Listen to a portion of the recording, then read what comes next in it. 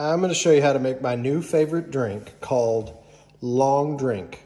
This is a drink from Finland. It's like the Finland national drink or something, but it's good. So basically it's a gin, gin soda and grapefruit. So I got uh, some, oh, B grade gin here.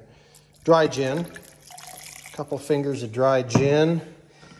Hit it with a little citrus. You could do lemon and lime. I kind of like lime, so we're gonna do hit it with a little lime.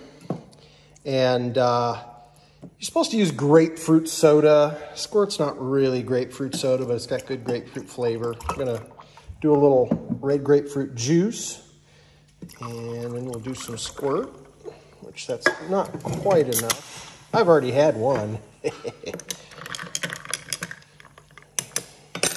Give it a little stir.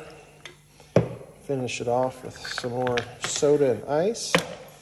And it's pretty refreshing. I like it. Finnish long drink.